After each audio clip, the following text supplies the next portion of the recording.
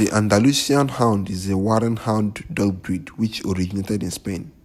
At maturity, the dogs reach 64 cm and 33 kg, and it is known to be an ancient breed of dog, but was officially recognized in 1990. They come in three sizes, which are large, medium, and small, and they are mainly used for hunting purposes, and they are also used as watchdogs. They are brown in color.